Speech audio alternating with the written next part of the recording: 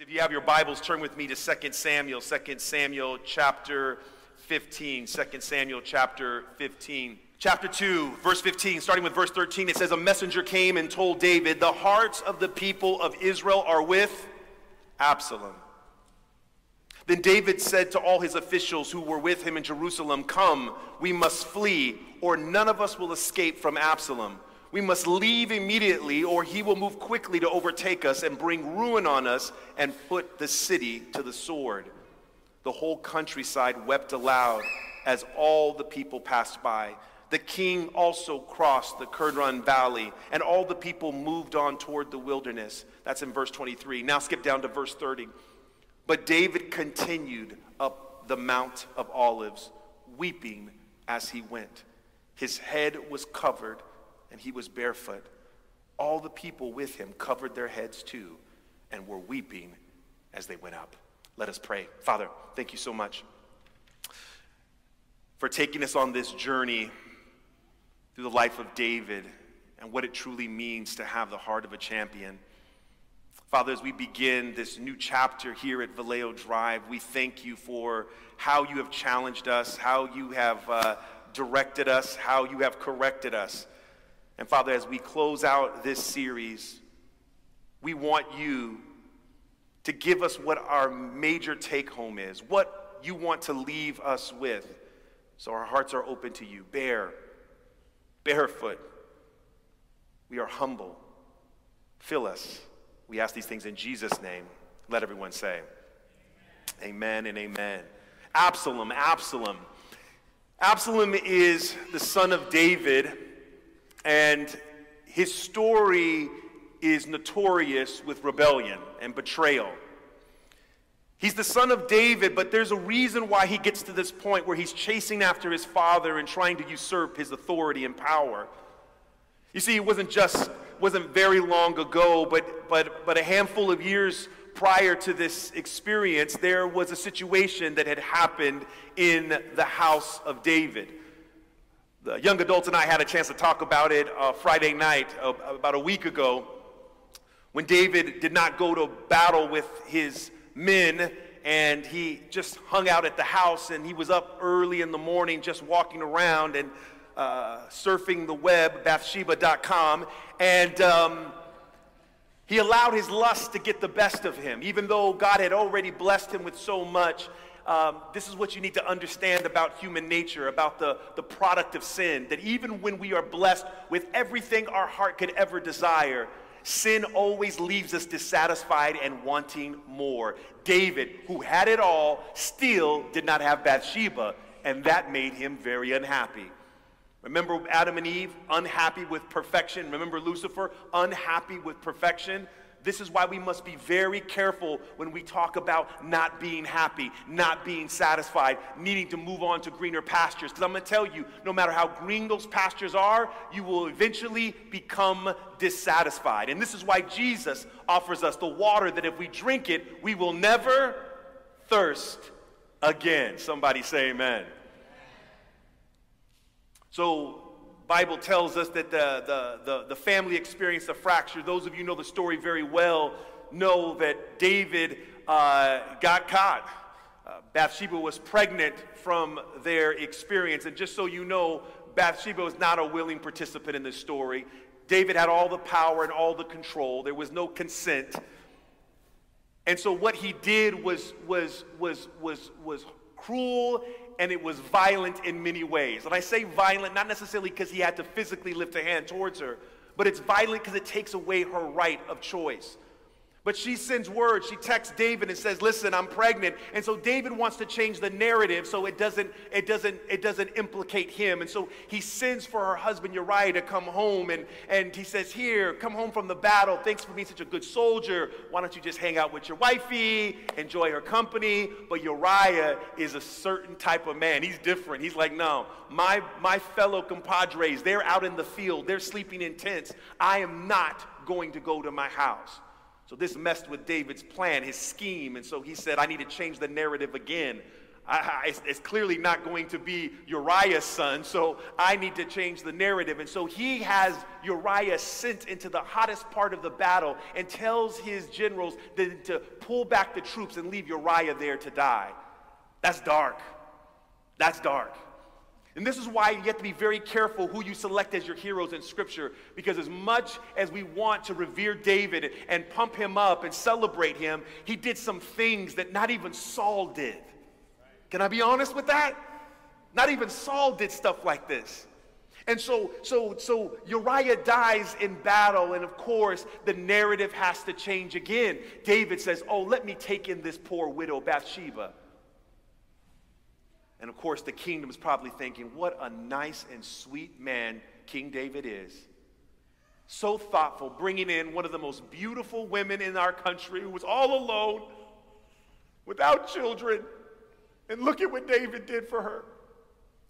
And so she, of course, gives birth to a child, but you know, God had to call David out, sent the prophet Nathan over with the story that again implicated David. And David says, I'm that man. I'm guilty. I messed up. I'm sorry. I'm sorry, Lord. And everybody wants to celebrate David because he asked for forgiveness and he repented. Every time someone brings up the heart of a champion, the heart after God's own heart, they always want to say it's because David repented. But let me tell you something. Being like God doesn't mean we repent. Let me tell you why. Because God has never had to repent. God has never had to ask uh, uh, uh, for forgiveness. God has never done anything that was evil that he has to say, I'm sorry, let me fix this up. So, David having the heart of God is not because he repents. It's something else, and we're going to find out what that is in this story. Yes, David repented, but can I be honest? David repented because he got caught. The prophet called him out. And of course, everybody started to find out about this, and, and his children found out about it. Oh, that's what daddy does? And nobody gets in trouble? Someone will say, yeah, but their first child, Bathsheba and David's first child, dies. That's the punishment. Oh, that happens all the time. That ain't really that bad, I'm sure some are thinking. So Amnon, one of David's, David's sons, he's like, yo, daddy can do this kind of stuff, so can I. And he has the hots for one of his half sisters, Tamar, and he devises a plan so that he can be with her, again, without consent. Listen, the Bible is not the children's stories we thought they were, right? I don't know how Maxwell was able to do an entire series for children. My son was in my office uh, a few weeks ago, and I'm like, hey, get off the iPad. I want you to read some Bible stories. So I started going through one of the Maxwell books, and it was on the life of David. I said, This will be perfect, son. I'm preaching about this. And I'm looking through the stories, and I'm thinking to myself, There's not one story I want my, nine, my 10 year old boy to read. Not one. I'm looking through all of them. I'm like, Look, violent, bloodshed, ooh, ugh. The Bible's dark, it's violent. And that is why I'm telling you right now, this is what makes the scriptures for me all that more inspired because God does not gloss over our messiness. He's transparent about it. He wants us to see what sin looks like. He doesn't just put the flowery wonderful, loving, you know, joyful, peaceful moments in there. He lets us look in the mirror and see what sin truly reflects back at us. And so here we see this happening. Amnon takes his half sister Tamar by force, and it gets ugly. Absalom is like, Dad, do something about it. And David, who just got caught in some mess, doesn't feel like he's in a place to be judgmental. Have you ever been there before where you want to call out somebody's sin, but because your sin is out there too, you're afraid to say something because you don't want to be judged yourself? Let me tell you something. Being a sinner does not disqualify you from calling out sin. Let me say that again so everybody in the balcony can hear. Being a sinner does not disqualify you from calling out sin. This is why the church exists. We help keep each other accountable. Just because I may have failed in this area doesn't mean I can't preach about it. There have been times I'm like, Lord, I can't preach that. I'm still, I'm still struggling with this. And God said, this message is for the people, not just for you. Don't just preach about the things you have victory over. You're preaching my word. I have a message for my people. And you know what? You need to hear this message again. Amen.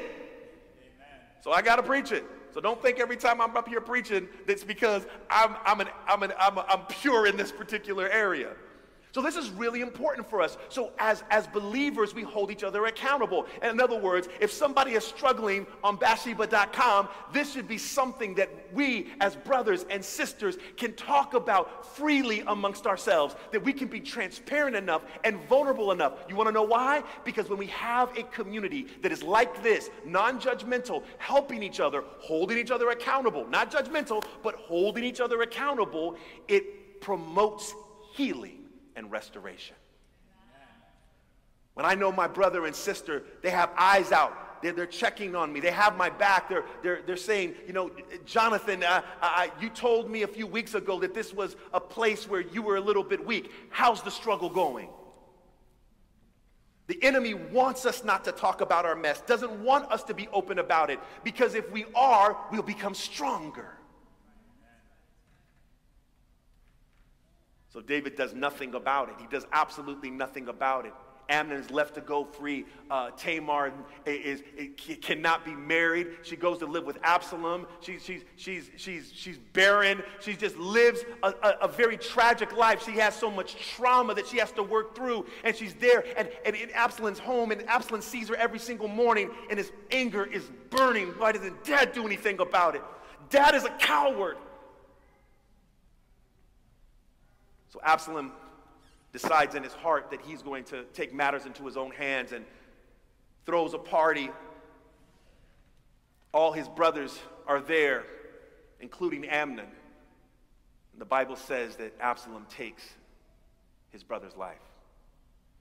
He then flees, and David finds out about it. And the Bible says that David, he weeps. He weeps for his son Amnon, but he still doesn't do anything about it.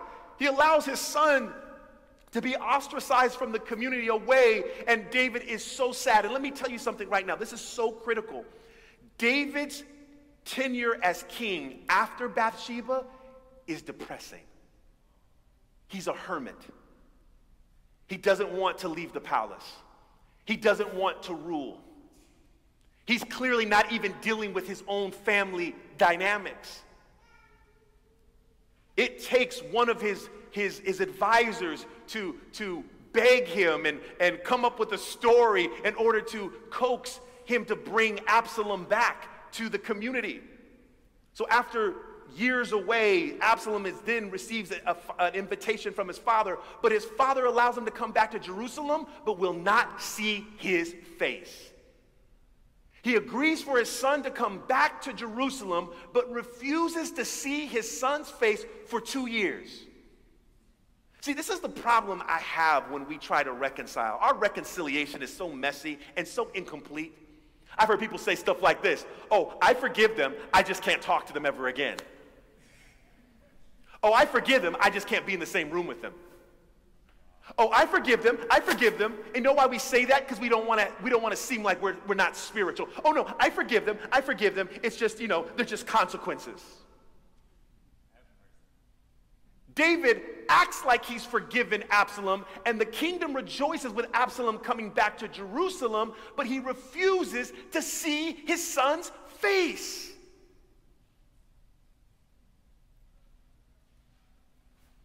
Word gets back to David that Absalom is hurt over this, broken over this.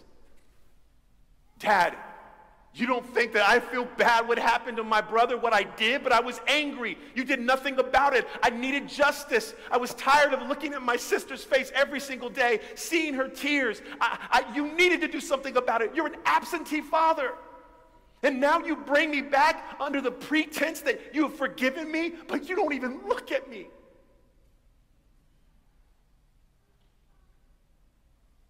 Reconciliation. Watch this, it's going to hurt. Reconciliation is bringing someone back into the fold and treating them as if they had never made an offense, had never come against you, had never wronged you. Reconciliation is restoring people back to their former glory before they sinned. No, Pastor, no, no. I mean, I forgive, I just can't trust. You know, what if God treated us like that? I forgive you, I just can't trust you, so you ain't coming to heaven. I, but I forgive you. but you can't see my face. Is that forgiveness? It's not. I get it, I get it. But that's different, Pastor. That's God. He's different. He's better than us. Yes, yes. But we've been called to walk in His footsteps. Why would we call ourselves followers of Christ if we refuse to follow Christ? And just in case you think Christ wasn't very specific on these issues, he very much was. He even got to the point where he's like, listen, if, if your brother has anything against you, not even if you have anything against your brother, if your brother has anything against you, you don't even come to church. Go to her. Go to him. Fix it.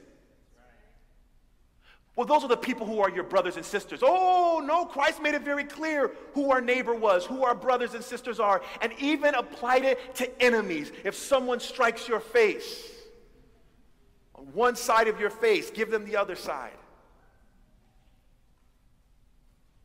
God gives this even to his enemies. Read Romans chapter 5. Romans chapter 5 is one of the most beautiful chapters penned by Paul, where Paul says that while we were powerless, while we were still his enemies, this is when Jesus came to die. Not when we were friends, not when we were his homies, not when we were his amigos, when we were enemies, bloodthirsty, and wanting to crucify him, that is when he sent his son. For God so loved the world that he gave his only son. The Father sent us his son when the world was at its darkest, most fearful, most power hungry. And this is when he sent his son. Can I tell you something? This is going to make you feel uncomfortable. I know this, I know this, I know this. But grace always opens us up for more hurt. Grace always opens us up for more potential hurt. I don't want to forgive her. I don't want to forgive her because if I forgive her, she's going to probably hurt me again. I don't want to forgive him. I don't want to give him another chance. I've already given him enough. How many times have you heard that? Or you said it yourself. I've already given them enough. Can you imagine God saying that to you? I've already given you enough. I'm done. 15 times we've been struggling with this. 15 times you've come and prayed. 15 times you've asked me for, for, for forgiveness. I'm done. Peter says, How many times can we forgive one another? Seven, and then Christ, knowing Peter's not good with math, says seven times 70. And Peter cannot add that up, he can't multiply. He knew what Christ was saying to infinity and beyond. Amen. Infinity times, Peter, infinity times you forgive someone. Never grow tired of forgiving people. Now, I know what you're going to say to me, but Pastor, should we not have boundaries? Absolutely. The forgiveness process does have boundaries. That's not just to protect yourself, that's also good for the person because boundaries help instruct that whatever behavior they were doing was harmful to you and the relationship.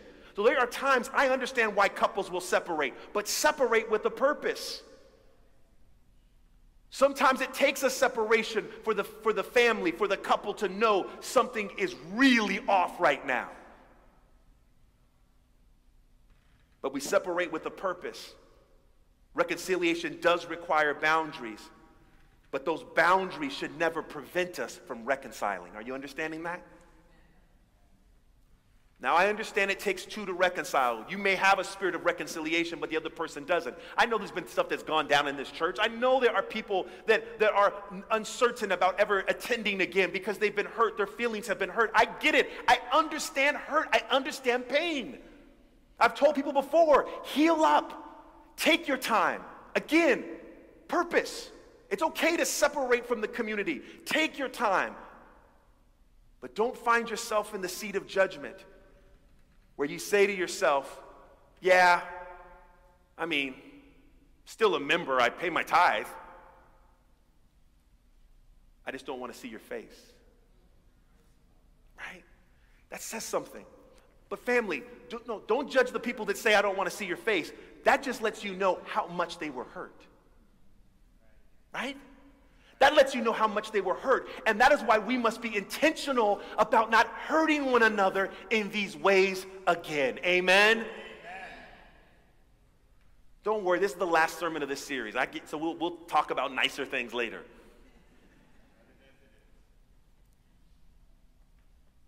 So this is what's going on with Absalom. And so Absalom, he comes back to his father's court. Finally, David catches word that Absalom is sad and he's heartbroken. So he allows Absalom to come back. He sees Absalom. He kisses him on his face. And Absalom goes back to his home. He has a family, but time has done something to Absalom. He does not trust his father. It appears that he comes back and is, and is ready for reconciliation with his father. But the Bible tells us that Absalom begins to conspire against his father. He starts sitting out uh, by the gate and talking to everybody who's passing by. Yo, what's going going on? How are you doing? And the Bible tells us Absalom was a gorgeous man, good looking man.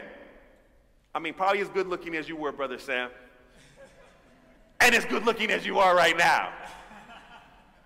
Right? So just very good looking. And he had long hair. He would cut his hair once a year and, and, and sell it. You know, they were making weaves. I don't know if they were making weaves, but he, the Bible does say that the Bible does say that he would cut his hair and they weighed it, so I don't know, maybe they were. Um, but the reality is, he was good looking. His hair looked great, uh, and, and, and his, his smile would just, would just would diffuse any situation and melt hearts. And this is why we read in the scripture that the hearts had turned to Absalom. He'd say, What's your problem? Oh, hey, come here, come on, let me talk to me about it. I know, my dad, I know. I listen. I was raised in this dysfunctional home. I know my dad. He's not going to listen to you. If I could tell you some of my childhood stories, mm, I should be on Dr. Phil. He was doing this for years, years, just getting to know people, learning their names, trying to help solve their problems. Absalom was just, I mean, he was smooth. So he goes to his father and says, Hey, dad, I'm going to take a little uh, vacation. I'm going to be gone for a little while. Dad says, Oh, son, bless you. And while Absalom goes away, he starts sending out messages that uh, a new king is in town. Y'all ready to see how a kingdom should really be ran? Now, why would this happen under David's rule? Again, as much as this reflects on the heart and character of Absalom, it also reflects on the heart and character of David. That David was, had disappeared to the point he didn't even know what was going on at the gate. David should have been there with his son saying, Hey, son, let's, let's do this together, tag team. David was gone. Now, I just want to pause on this for just a second here. The fact that David was shut in his home had to do with his own shame. A lot of times when we have failed somebody and failed in a relationship, it is very difficult for us to be reconciled because we feel like we should be punished for our sins. And this is critical because as, as, as David is marching away from the city and everybody's crying and they're going up the Mount of Olives, there are people that are just wailing on them. Somebody from the clan of Saul starts pegging David with rocks. That's what you get. Fake king. David is getting rocks hurled at him, and the soldiers say, Can we kill him? David says, No. No, I deserve it. I deserve it, and worse. God sent this man to throw rocks at me. That's what David says. He sent rocks, he sent this man to throw rocks at me. As a rock hits him in the head. No, I deserve that one. And we have people that are unwilling to be reconciled because they believe their offense, their sin is so grievous to the Lord that they don't deserve to be loved. They don't deserve to, to have grace. They don't deserve mercy. Listen, stop this because your obsession with your shame and you believing you deserve more punishment is also selfish. And it also says something to God. God, I don't believe your forgiveness completely sets me apart as holy. I don't believe your forgiveness completely restores me. I don't believe your forgiveness has truly separated my sins as far as the east is from the west. Basically, what you're saying to God, I don't believe you. Anytime somebody says, I don't deserve this, I don't deserve, well, yeah, of course you don't. None of us deserve mercy. That's why it's called mercy. None of us deserve grace. That's why it's called grace, unmerited favor. So David is in, he's, he's in the doldrums right now. He doesn't believe it. And it gets really bad. Can I tell you how bad it gets? It gets so bad that even Mephibosheth, remember the one that was the grandson of Saul, the son of Jonathan, the one who was the cripple that David said, You could eat at my table all the rest of your meals? Even Mephibosheth is like, Yo, I'm rolling with Absalom. what? What? David runs into Ziba, the servant of Mephibosheth, and he says, Ziba, what are you doing here? Hey, man, I want to give you some donkeys, I want to give you some bread, give you some wine. I just want to help you out. He goes, Where's your master Mephibosheth? Well, he's in Jerusalem. He thinks his father's kingdom's about to be restored. Yo, that's, that's dirty. But what did I tell you? Grace opens you up to what? Hurt and betrayal. Like, this is the name of the game. This is just life. But can I say something else to you? Even when you don't show grace, you still open yourself up to hurt. You're going to get it one way or the other. People who do not want to be merciful, people who do not want to forgive, people who are not gracious, people who do not want to reconcile also live in constant pain and fear. Walls up. Nope, you're never going to hurt me again. And let me tell you something the, the, the, the way in which we love and forgive is proportionate to how we also receive. Those who do not want to love, those who do not want to be gracious, those who are not willing to forgive, also don't know how to receive it. Everything is doubted. Everything, everything is, is seen in a negative light. David is marching in despair. Mephibosheth has turned his back on him. Uh, Ahithophel, David's most trusted counselor, also turns his back on David and is serving Absalom. There is so much betrayal coming on, and this is when we read. Let's turn with me to the book of Psalm, Psalm chapter 41. Psalm chapter 41. This is when, when David pens this psalm. The beginning of it, he talks about uh, God loving those who are weak and those who are on their sick bed, God will restore. Verse 4 says, I said, Have mercy on me, Lord. Heal me, for I have sinned against you. All right, David, I like it. Theologically, you're right on point here. You sinned against God. My enemies say of me in malice, When will he die and his name perish? When one of them comes to see me, he speaks falsely while his heart gathers slander. Then he, do, then, he, then he goes out and spreads it all around. I know there's some people that have been a part of slander. You've, you, you've been uh, the, the recipient of it, or you've been the one who's been spreading it. It's, it's not fun. I understand that. David's like, I get it. I've been there. All my enemies whisper together against me. They imagine the worst for me. Put a pin in that. A vile disease has afflicted him. He will never get up from the place where he lies. Even my close friend, someone I trusted, one who shared my bread, has turned against me. Ooh, Brother Schubert, who quoted this text in the Gospels? Who quoted this text? Jesus. When he was in the upper room with his disciples, remember what Judas did dipping his bread? Jesus quoted this psalm. The one I have shared breath, bread with, they have turned against me. Someone who's a, a close friend, someone I trusted, one who I shared bread with, has turned against me. Jesus is quoting this passage saying that Judas fulfilled it. Does Christ know what David's going through? Oh boy, this makes this, this passage messianic, doesn't it? It makes what David is going through messianic. David understands this. Now you're going to say, but, but, but again, Pastor, this didn't work out well for Jesus. Look at what Judas did. But that would never stop Jesus from recruiting Judas. It would never stop Jesus for dying for Judas's sins.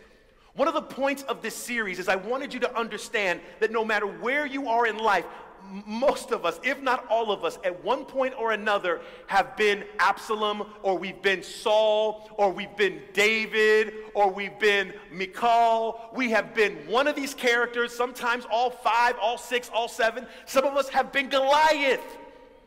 All of us have blood on our hands. All of us are guilty. Paul says in Romans 5 all have fallen uh, short of the glory of God, all have sinned.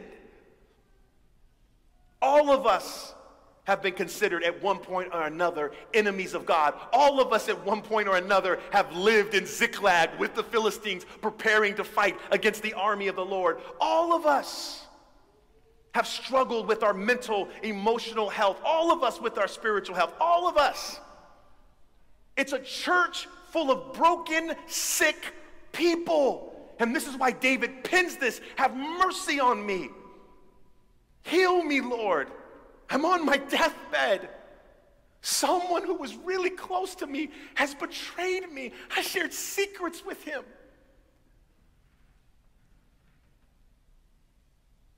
Jesus says, I know. Judas was also one of my closest friends. I love him. Not loved, I love him. And this is not the first time I've experienced betrayal. Lucifer, he also I love. Oh, God would never love Lucifer. No, no, God is love. He can't do anything but be who he is. Even now, God loves Satan, his adversary, loves him. If he didn't love him, he would chain Satan to his side and say, You are never leaving my side for eternity. And that would be hell.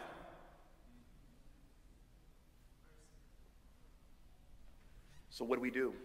Fortunately, David, who's on the run for his life, has somebody who has infiltrated the council of Absalom and gives him poor advice on David's behalf.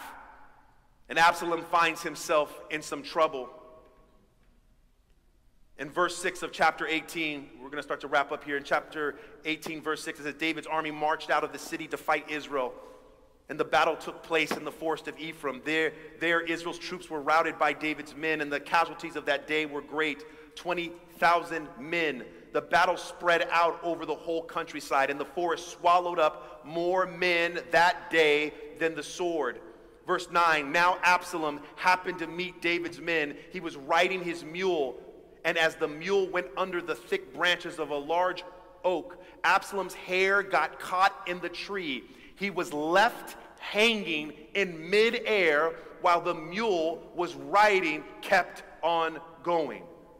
When one of the men saw what happened, he told Joab, I saw Absalom hanging in a tree.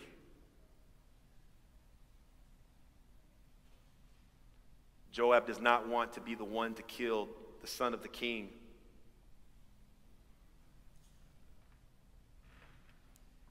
And so he offers silver to the man and says, You do it. Man, there's so much of this that ties in with the passion experience of Christ. Remember Judas? How many shekels that he was willing to betray Christ for? But it won't happen. The man said, I'm not gonna, I'm not going to, I'm not gonna be responsible for killing the son's king. I'm not gonna do it. You, you can't pay me enough. So finally the, the soldiers then surrounded Absalom as he was hanging in the tree by his hair. And the Bible says they struck him until he died. Now, of course, many of you would think this is good news for David. He's been, he's been restored. He's been, he's been vindicated. David said when he left Jerusalem, he said, Leave the Ark of the Covenant here. If God is pleased with me, he will, he will have me to return. So it seems God must be pleased with him. Everything is going well for David. David wins, right? The victory is David's. Verse 28 of chapter 18.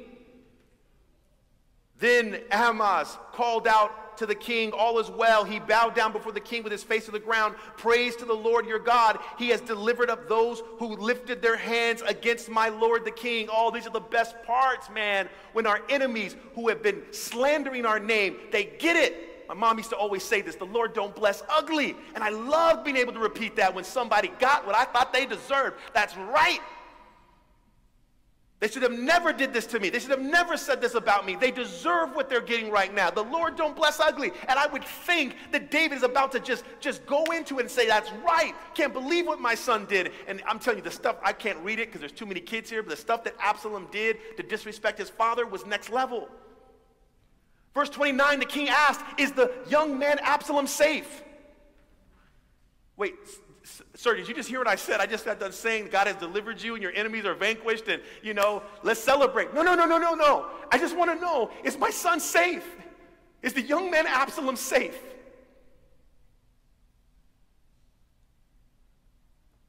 And then Ahimaaz answered, I saw great confusion, just as Joab was about to send the king's servant and me, your servant, but I don't know what it was.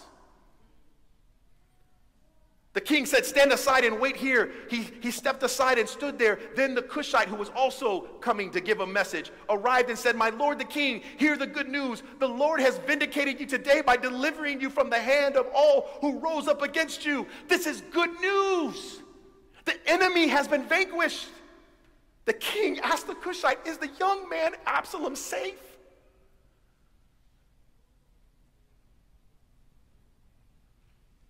Cushite replied, May the enemies of the Lord, the king, and all who rise up to harm you be like that young man. And then the Bible says in verse 33 the king was shaken. He went up to the room over the gateway and he wept. As he went, he said, Oh, my son Absalom, my son, my son Absalom. If only I had died instead of you. Oh, Absalom, my son, my son. Wait, wait, David, do you know what he did to you? Do you know what he said about you? Do you know that he was trying to kill you? I know, but all David cared about was the safety of his son. And when he finds out his son has died, what he wants to do is to take his place. David finally gets it. David finally gets it. David now, for the first time, not with Goliath, not with Saul, not with all his many victories, now David finally gets it. He now has the heart of God.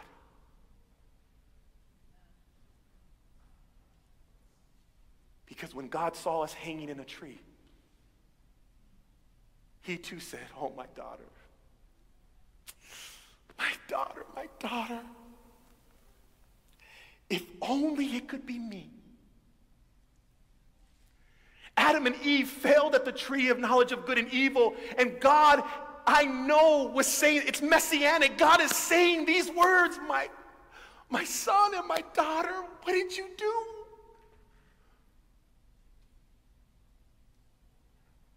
But God can do something that David cannot.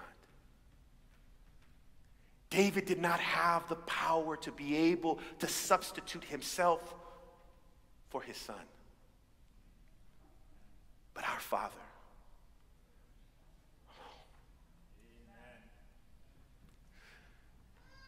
Jesus, he could be that substitute. I will hang in the tree for you. Let me hang instead of you. Do with me as you please, but I don't want to lose you. I don't want to lose you. I don't want to lose you. If only it had been me. I don't want to lose you. Family, this is the cry of our church for one another, for the lost. I do not want to lose you. I would rather take your place. I don't want you hanging there. I don't want you to suffer anymore. I take me instead. That's what Jesus says. Take me instead. I'm guilty of their sin. I shared this with someone this week. They, they told me in an email, they said, I'm struggling with what you said about sacrifice. I'm struggling with what you said about sacrifice. I said, just wait until the next message. Because that is our call, that is our mission. This is the banner. We are people of sacrifice. This world is not won with muscle, it is won over with sacrifice. And we sacrifice one another. We sacrifice ourselves for one another. We sacrifice ourselves for one another because they matter. If only it would have been me instead of you. That attitude changes lives, it rebuilds relationships, it restores communities, it grows churches. And we have to have the heart of a champion that, that says what David says if only this is your church.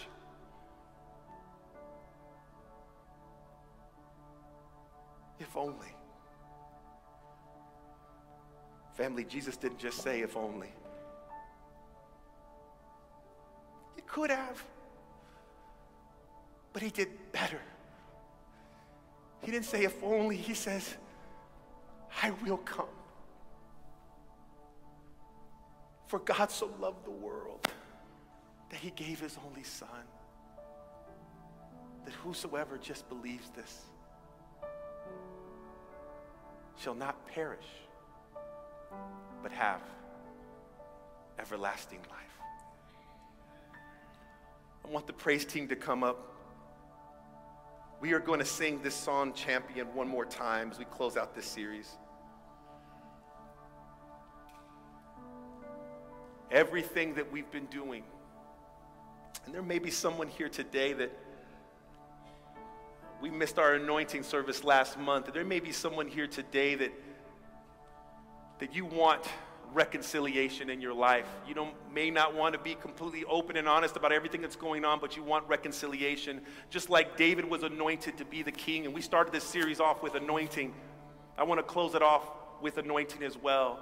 I'm going to ask the elders and pastors to come forward if they have any oil. If there's anybody here that just wants a special prayer as we sing this last song, that you can come forward and you can ask for that spirit of reconciliation to permeate all throughout your life, that you can transform relationships, rebuild them. And I believe they'll be better than they were before, they'll be stronger. If only, if only. Jesus didn't say if only, He did it. And he hung in that tree for you and for me so that he can reconcile us back to the Father.